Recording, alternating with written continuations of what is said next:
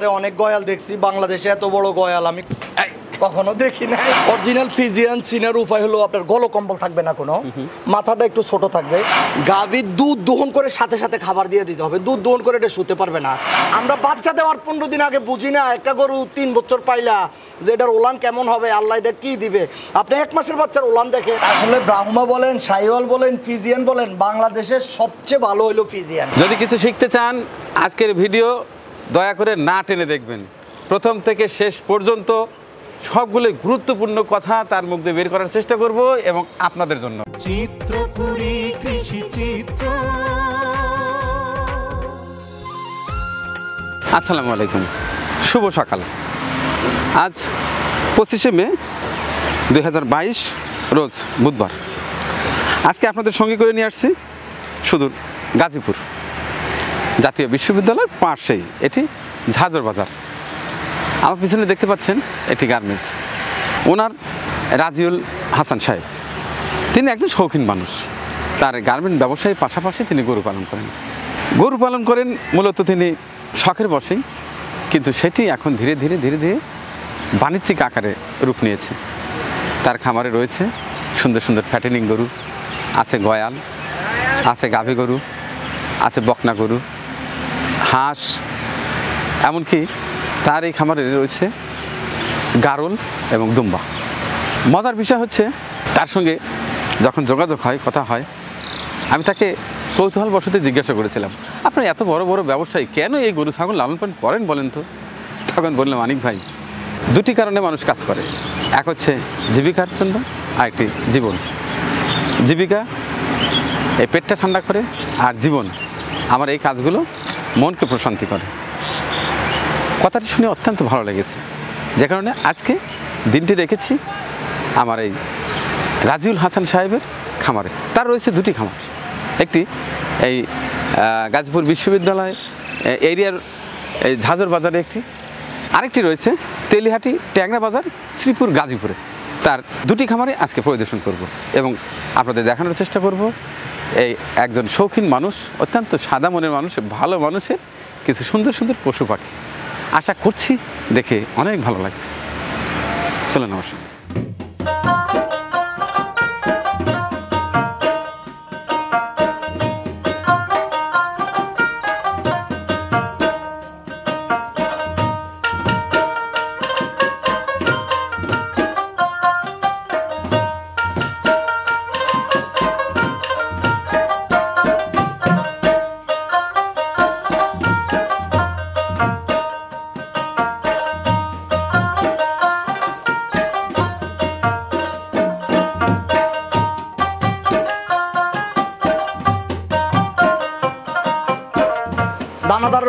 বেশি দানাদার কমায় দাও পর্যাপ্ত ঘাস খাওয়াও।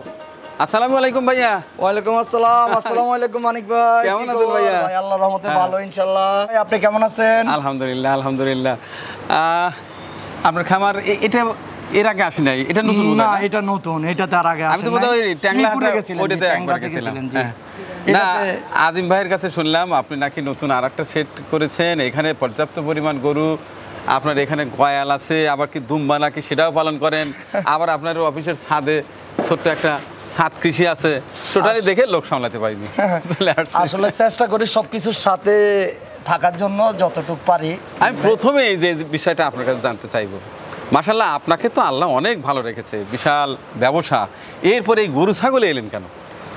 আমরা আসলে দুইটা জিনিসের জন্য কাজ করি মানিক ভাই। একটা হলো জীবনের জন্য একটা জীবিকার জন্য। তো এটা হলো জীবনের জন্য। মনের প্রশান্তির জন্য। মনের প্রশান্তির জন্য আর যেটা নিয়ে যুদ্ধ করি ওইটা জীবিকা। জীবিকার জন্য। কিন্তু ভাইয়া এটাতে কিন্তু শখের বসে হলেও এখান থেকে কিন্তু ভালো আউটপুট সম্ভব। না আসে ইনশাল্লাহ আর বিশেষ করে আমি মনে করি যেটা আপনারা যদি এগিয়ে না আসেন কারণ আপনার এই খামার সেক্টরে যথেষ্ট পরিমাণ শ্রমিক কাজ করে। হ্যাঁ আমার এখন তিরিশ জন আছে। তাইলে চিন্তা করে তিরিশটা ফ্যামিলি কিন্তু চলছে। জি। আপনি বুঝেই হোক না বুঝেই হোক প্রত্যক্ষ এবং পরোক্ষভাবে আপনি কিন্তু তিরিশটা ফ্যামিলির মানে কর্মসংস্থানের ব্যবস্থা করেছেন। এই জন্য প্রথমে আপনাকে ধন্যবাদ।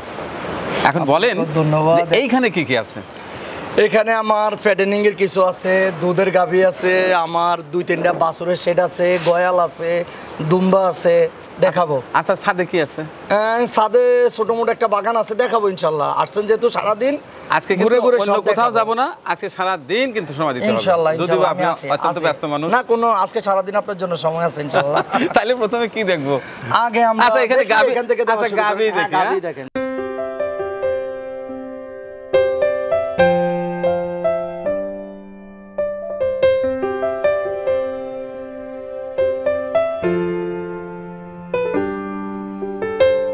গাভী এখানে কি পরিমাণ আছে?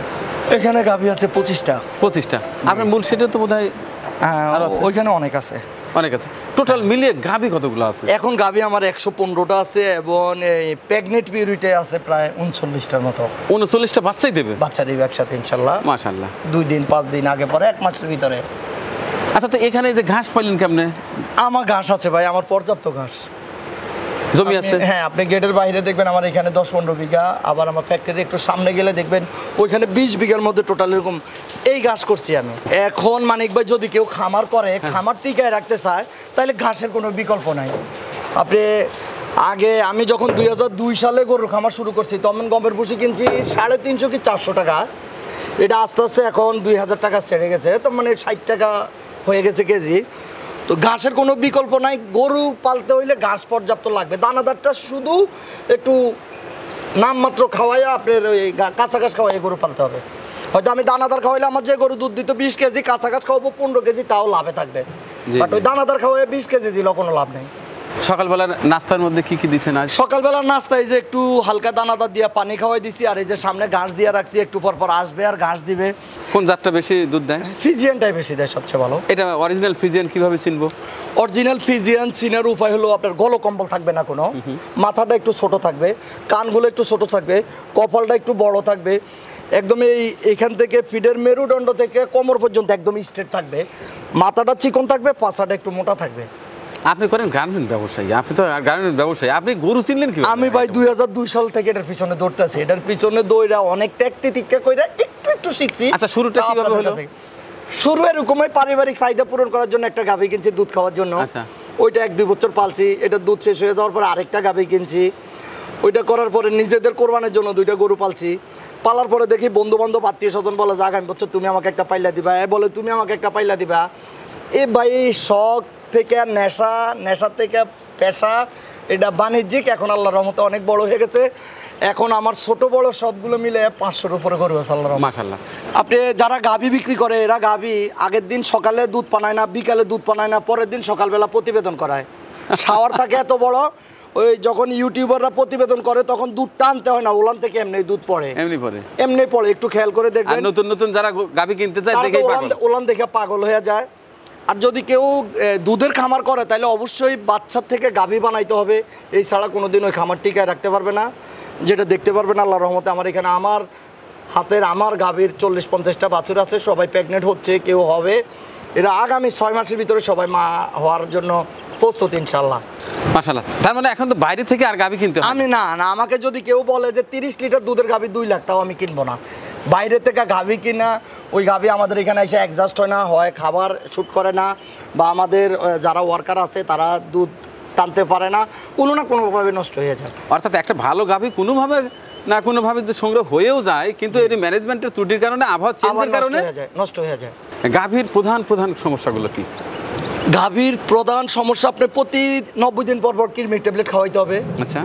গাভীর দুধ দহন করে সাথে সাথে খাবার দিয়ে দিতে হবে। দুধ দহন করে এটা শুতে পারবে না। শুইলে আপনার যখন এর যে বানটা বানের এখান দিয়ে জীবাণু যায় ম্যাস্টাইটিসটা হওয়ার সম্ভাবনা বেশি। অর্থাৎ গাভীর প্রধান সমস্যা হচ্ছে। ম্যাস্টাইটিস সেটার থেকে রক্ষা পেতে হলে খাবার খাওয়ানোর পরে কমপক্ষে এক ঘণ্টা। দাঁড়িয়ে থাকবে। মানে দুধ দহন করার পরে এক ঘণ্টা দাঁড়ায় থাকতে হবে তার কমপক্ষে। দুধ দহনের পরে এক ঘণ্টা দাঁড়া রাখতে হবে। রাখতে হবে, সেটা যে কারণে ওই- ওই সময় খাবার দিলে এটা সুবিধা হয়। সুবিধা হয়। আর একটা জিনিস হলো দেখেন আমার ওই শেডটা যে করছি আমি ওই শেডে আমার টাকা গেছে পঁয়ষট্টি লাখ। আর এইখানে দেখেন আমি দেড় লাখ টাকা খরচ করে সেট করে ফেলছি। হ্যাঁ সেট সম্পর্কে যদি বলতেন। যে স্বল্প টাকায় কীভাবে সেট হ্যাঁ করা আমি আসলে নতুন যারা করবে আমি বলব যে আপনি আগে আপনার বাস নাই বাংলাদেশে এমন কোনো গ্রাম নাই। আপনি একটা তেরপাল কিনেন পাঁচ হাজার টাকা দিয়ে পাঁচ হাজার টাকার বাঁশ কিনেন আর ইট দিয়ে জাস্ট চলিং করে দেন। আমার এগুলো কিন্তু কোনোটা ঢালাই না। আল্লাহ মাফ করুক কোনো কারণে আমার এই খামার টিকলো না। আমি ওই তের ফালো খুলতে পারব বাঁশও খুলতে পারব ইট উঠাইতে পারব। যখন আমি ঢালাই করে ফেলব তখন এগুলার কোনোটাই কাজে লাগবে লস আইটেমে যাবে। লস আইটেমে চলে যাবে। আমি তো প্রথমে ভুল করছি। হ্যাঁ। আমার সেটে ডাইনিং টেবিল বানাইছি যেটা আরেকবার বললাম অনেক টাকা খরচ করে আমার দরকার না আমি বাঁশ দিয়ে বেড়া দিয়ে দিছি একটা ডাম কাইটা দুইটা খাবার পাত্র বানাই দিছি সে খাচ্ছে। আর যদি আমি এখানে ইট দিয়ে চালি করতাম তো কমপক্ষে আমার এইখানে চালি করতে দুই লাখ টাকা খরচ হতো কি দরকার? দুই লাখ টাকা দিত? দুই লাখ টাকা না। এখন যদি আমি একটা ডাম এক হাজার টাকা করে কিনি আমি বারোটা ডাম কিনছি আমার চব্বিশটা হয়ে গেছে। বারো হাজার টাকা। বারো হাজার টাকায় পঁচিশটা চব্বিশটা গরু পালতেছি আমি। আর যদি এটা সালি করতাম তাহলে দুই লক্ষ টাকা লাগতো। ইট রড সিমেন্ট বালি মিস্ত্রি সব মিলে দুই লাখ টাকা হইতো না। প্রায় সময় লাগতো পনেরো থেকে বিশ দিন। এখন কিন্তু আমি দুই ঘণ্টার ভিতরে এগুলো কমপ্লিট এটাই হচ্ছে হিসাব। অনেকে বলে যে আমরা খামার করে লাভবান হতে পারছি না। এই যে হিসাব কিন্তু এইখানে। হিসাব এখানে ভাই। যেমন ক্রয়ের একটা বিষয় আছে। যেমন অনেকেই গাভীর রশি নিয়ে টানাটানি করে। আমি বলি বড় গাভীর রশি নিয়ে টানাটানি না করে আপনার ছোট বকনা পাবেন ভালো জাতের। ভালো দেখে শুনে গেলেন একটা গাভীর টাকা দিয়ে আপনি তিনটে বকনা পাবেন। এর মধ্যে আল্লাহ না করে একটাতে পার্সেন্টেজ দুইটা আপনার এটা ভালো দুইটা কিন্তু আপনাকে পয়সা দেবে। পয়সা দিবেন। আর ওই একটা অন্তত গোস্ত তো হবে। গোস্ত হবে হ্যাঁ। কষার দামে তো বিক্রি কষার দামে বিক্রি অতএব লস হওয়ার কোনো সুযোগ নাই। সুযোগ নাই। বাট আপনি লাখ টাকা দিয়ে কিনলে ওইটা এক লাখ টাকা কষের কাছে বিক্রি করতে হবে ঘণ্টার ব্যবধানে। আল্লাহ মাফ করুক এরকম অনেক হয় আমরা অনেক করছি এরকম। কিন্তু আমাদের এই যে আলাপ চাইতে যদি আমার দর্শক ছোট ভাইরা যদি ভালোভাবে না শোনে অনেকে ভিডিও দেখে একেবারে শেষে যায় আবার জিজ্ঞাসা করে ভাই ওই যে ওইটার জন্য কি? আরে ভাই এই নিয়েই তো পাঁচ মিনিট কথাবার্তা পাঁচ মিনিট কথা বলছে হ্যাঁ ওইটা মনোযোগ। দিয়ে দেখেন। আপনি দেখবেন যারা বকনা বিক্রি করে ওই বাচ্চা হয় এক মাস হয় কয় দেখেন ওলান কত বড় পা ভাঙ্গাইয়া ওলান দেখায়। আরে ভাই আপনি ওই এক মাসের বাচ্চার ওলান কি দেখবেন কি বুঝবেন? যারা বকনা বিক্রি করে পা ভাঙ্গাই আবার ইউটিউবার ক্যামেরা একদম নিচ থেকে দেখো মার্শাল লাইটের ওলান পালন তো অনেক ভালো। আরে ভাই আমরা বাচ্চা দেওয়ার পনেরো দিন আগে বুঝি না একটা গরু তিন বছর পাইলা যে এটার ওলান কেমন হবে আল্লাহ এটা কী দিবে? আপনি এক মাসের বাচ্চার ওলান দেখেন ওলান পালান বড় হাই পার্সেন্টেজ ওলান দেখে কি পার্সেন্টেজ দেখা যায়? কখনোই না। ওর মাথা দেখে পার্সেন্টেজ বাইর করতে হবে ওর বডি দেখে দর্শক আমাদের রাজিউল হাসান সাহেব শুধু একজন খামারি নয় তিনি কিন্তু এক্সেটার একজন শিক্ষক। যদি কিছু শিখতে চান আজকের ভিডিও দয়া করে না টেনে দেখবেন। প্রথম থেকে শেষ পর্যন্ত সবগুলো গুরুত্বপূর্ণ কথা তার মুখ দিয়ে বের করার চেষ্টা করব এবং আপনাদের জন্য। অতএব ভিডিওটি অবশ্যই টানবেন না। চলুন এবার সার দেখব।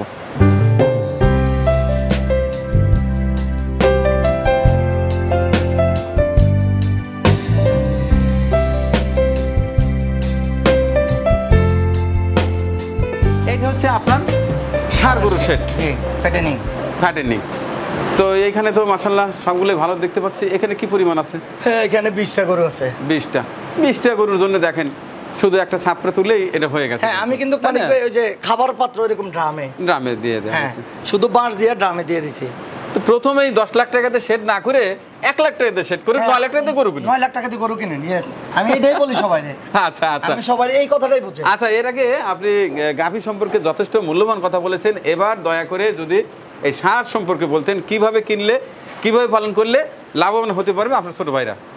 দেখেন বাংলাদেশে কিছুদিন আগে দেখতাম মানিক ভাই পাঁচটা দশটা তারকে মুরগি মুরগি পাললে আপনি বড় লোক। ওইটা কিন্তু এক বছরের মধ্যে এখন নামও একটা ডিমের দাম ছয়শো টাকা। হ্যাঁ এখন কিন্তু কারও কাছে নামও শুনি না। নাম গন্ধই নাই।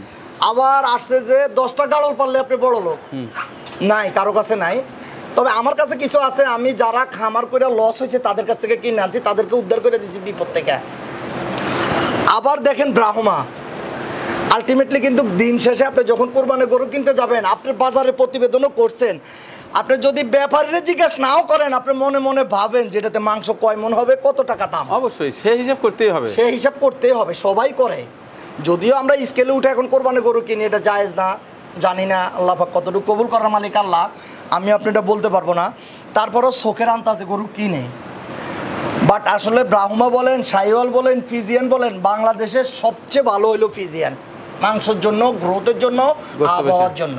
তো আমার এখানে ফিজিয়ানও আছে সাইওয়াল আছে ব্রাহ্মা আছে গয়াল আছে। আপনি সব কিছু রাখার চেষ্টা করেছেন কিন্তু যারা একেবারে নতুন পয়সা কম তাদের জন্য সাজেস্ট এইটা। ফিজিয়ান সাইওয়াল পালেন। আপনার ওই ব্রাহ্মা ওই ব্রাঙ্কাস ওই ফ্লাগবি এগুলোর দিকে তাকায়েন না। ওটা হচ্ছে বড় বড় মানুষের বড় বড় বড় বড় না বড় বড়রা এগুলো বিপদে পড়ে না পড়ে ছোট ছোটরা। আপনি দেখেন এখন ফিজিয়ান গরুরও মাথা সাদা হয়। এই গত এক মাস ধরে দেখি যে মাথা সাদা আসলে কয়টা প্লাগবি আর প্লাগবি দিয়ে আপনি কি করেন?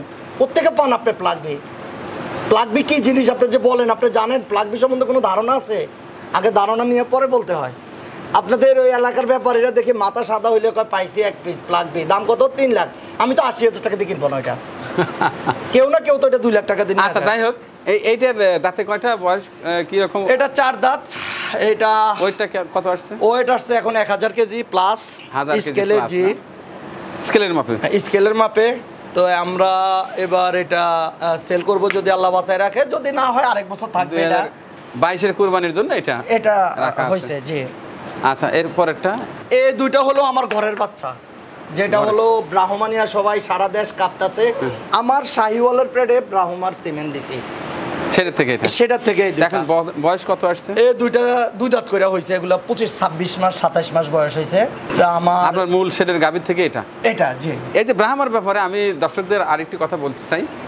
তো ব্রাহ্মার কিন্তু এখন বাংলাদেশে পালন মোটামুটি নিষেধাজ্ঞার মতোই। কারণ হচ্ছে। ব্রাহ্মাতে কিন্তু দুধ হয় না। না। শুধু গোছের জন্য। এই শুধু গোছের জন্য বিকল্প এই যে বড় ভাই যেমন বলল যে হলিস্টিয়ান ফ্রিজিয়ান এটাতে তো ভালো কিছু নাই বাংলাদেশে। তাইলে আমরা এই ব্রাহ্মার পিছনে এত খুঁজবো কেন? অতিরিক্ত দাম দিয়ে এটা কিনবো কেন? একান্তই যারা এর আগে ইচ্ছা পোষণ করেছিলেন যখন ছিল বাংলাদেশে কিছু সিমেন্ট ছিল এখান থেকেই এই যে যারা যারা বীজ দিয়ে এই যে মোটামুটি ভালো মানের একটা গরু এখন পাওয়া যাচ্ছে। কিন্তু এখন কিন্তু সিমেন্টের মধ্যে পাওয়া যাচ্ছে না সিমেন্ট পাওয়া যাচ্ছে না। আমি গতকালকে খবর নিচ্ছিলাম আমার একটা সাইওয়াল গাবি আসছে আমি এটা হান্ড্রেড সাইওয়াল দিয়ে হান্ড্রেড। পার্সেন্ট ব্রাহ্মা তো এখন আর পাওয়া যাবে না। কোনো সব ব্রাহ্মাই পাওয়া বাংলাদেশে যেটা হয় এই যে ক্রস কোনো ব্রাহ্মা এখন পাওয়া যায় না। এখন ব্রাহ্মা বলে যাদেরকে দিবে এটা একদম দোকাবাজি আপনি দেখবেন এটার যে স্টিকটা ওইটার ভিতরে কোনো নাম্বার নাই কোনো নাম নাই ওটা সাইওয়ালের পিস জি জি জি আচ্ছা এই যে সাদাটা কি ভাই? সাদাটা সাইওয়াল এটা আমাদের এই বছর রেডি হয় না আমরা এটা আগামী বছর বিক্রি করব ইনশাল্লাহ। মোটামুটি দাঁতে কয়টা? চার দাঁত। চার দাঁত। মাশাল্লাহ ভালো। বেশ শান্ত বোধহয় গরু জি জি শান্ত। আর black black Sahiwal. Black Sahiwal আসলে রেয়ার এটা ফিজিয়ান শাহিওয়াল হ্যাঁ।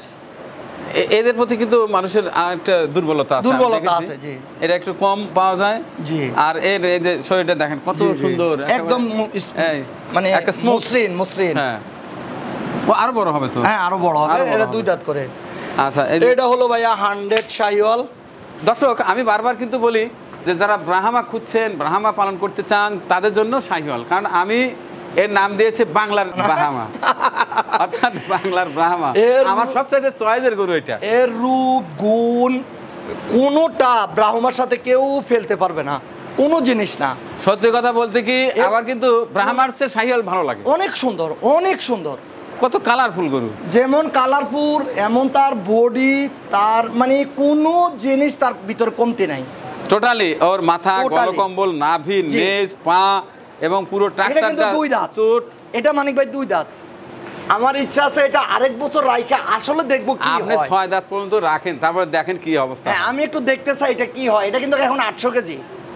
আটশো কেজি। মাসাল্লাহ এটা রেখে দেন। যদি সম্ভব হ্যাঁ হয়। আমি রাখব চেষ্টা করব আমি এটা রাখার জন্য। এটা হলো বলদ সেই কঙ্কারাজ। সেই কঙ্কারাজ এই সেই কঙ্কারাজ। দেখেন দর্শক সিং কি? কঙ্কারাজের আকর্ষণ হচ্ছে শিং। সিং একদম ঠান্ডা। একদম। মানে আপনি যত খুশি তাকে হাতাইতে পারবেন। তবে আরেকটা মজার ঘটনা মানিক ভাই, আমি এটা কিনছি কালো। কিন্তু জানি না কীভাবে এটা সাদা হয়ে গেল। বলেন কি? হ্যাঁ এটা আমি এই কালার কিনছি।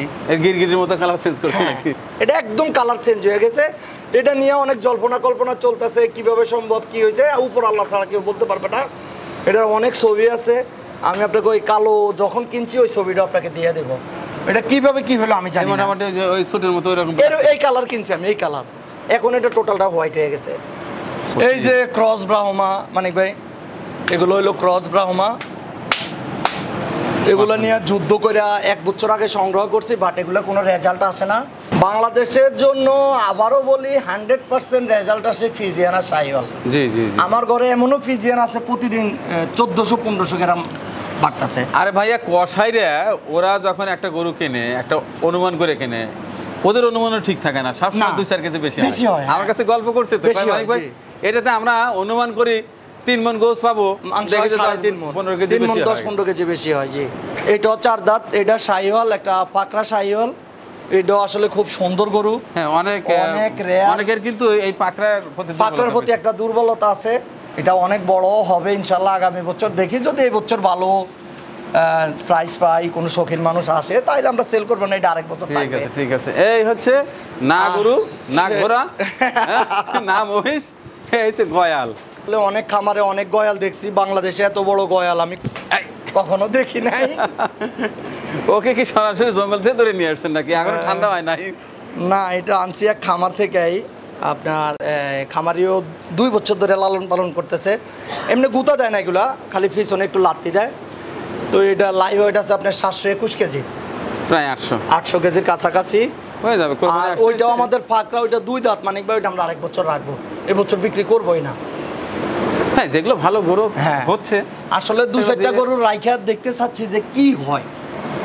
দেখা দরকার সবাই বিদেশি গরুর পিছনে দোলায় আমাদের দেশে যেগুলো জন্ম আমাদের হাতে যেগুলো জন্ম এগুলো কি হয় একটু দেখার আছে?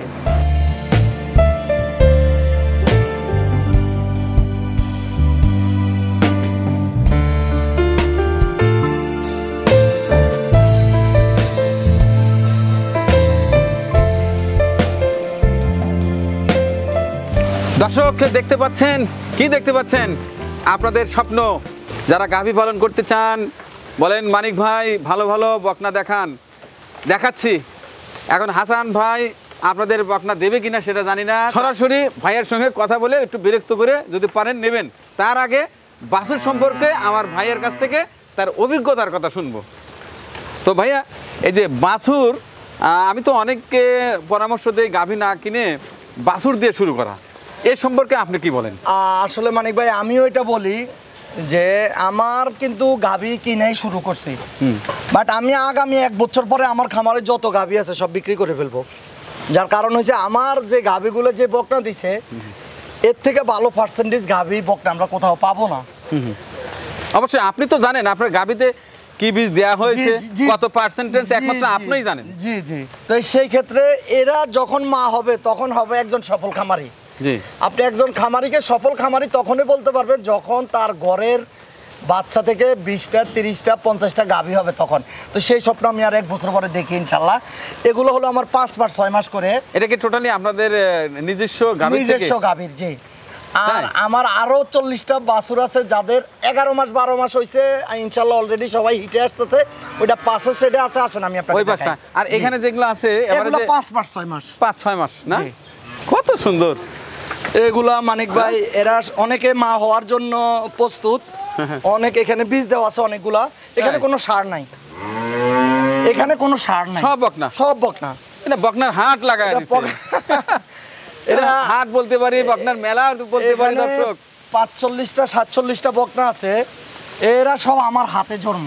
এক কথা শেষ। আমি নিজে এদেরকে মায়ের পেটের থেকে টাইনা বিয়ে করছি। আচ্ছা এর মধ্যে কিছু বিক্রি করবেন না? যদি আমার বাবাও আসে যে একটা বাচ্চা তো আমি দিব না। আচ্ছা প্রতি বছর প্রতি বছর তো ষাট সত্তরটা বাচ্চা আপনি পাচ্ছেন? হ্যাঁ, আপনার খামার থেকে? হ্যাঁ। তা বিক্রি না করলে এগুলোতে কি করবেন? হ্যাঁ আমার স্বপ্ন হলো আমি পাঁচশো দুধের গাভি করব ইনশাল্লাহ।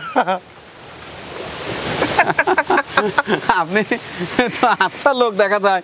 তাহলে তো ও জানলে আমি আসতেবি না। শুধু দেখাবেন দিবেন না। তা তো এগুলো হতে পারে নিয়ে তো ঠিক রাখতে পারবে না ভাই। আপনি আমার কাছ থেকে একটা বকনা নিবেন। আমি আপনার কাছ থেকে দুই লাখ টাকা দাম রাখব দেড় লাখ টাকা দাম রাখব আড়াই লাখ টাকা যা রাখলাম। আপনি এটা নিয়ে কি পরিচর্যা করবেন? কি খাওয়াবেন?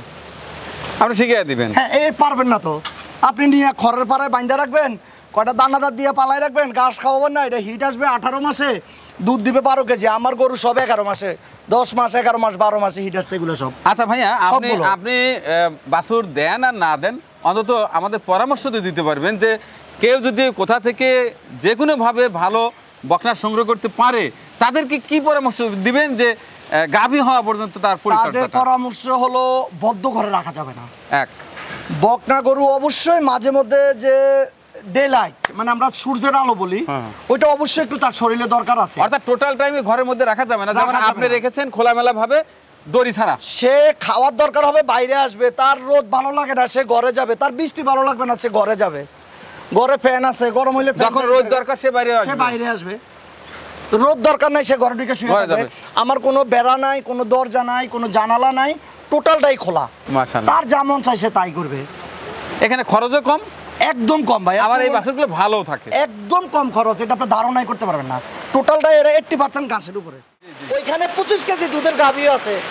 তো ও যদি কাদা মাটিতে রাইখা পারে তো আমি কেন সোলিং এর উপর রাইখা পারব না? আর হলো আপনি গাভীর দুধ দহন করার পরে দুধ যদি নিচে পড়ে তাইলে মাছি আসবে হান্ড্রেড পার্সেন্ট ওটা দুধ দহন আমি গরুর খামার করব। এই শখটা যখন আমার মনে আসে তার আগে আপনি ঘাস লাগান। যে জিনিসটা বলতে চাই প্রান্তিক খামারিরা যদি এরকম একটা গরু পালে মানিক ভাই তো বলে এটা চোদ্দশো কেজি এটা তেরোশো কেজি এটার দাম বিশ লাখ এটার দাম পঁচিশ লাখ। আপনি যদি চিন্তা করেন যে আপনি পাঁচটা গারল বা পাঁচটা ছাগল পাইলা আপনি জীবিকা উপার্জন করবেন এটা কখনোই সম্ভব না ভাই। আমাদের পরিবেশনা আপনাদের ভালো লেগে থাকলে শেয়ার করে অন্যকে দেখার সুযোগ করে দিন। আরও নতুন নতুন ভিডিও পেতে চ্যানেলটি সাবস্ক্রাইব করে সঙ্গেই থাকুন।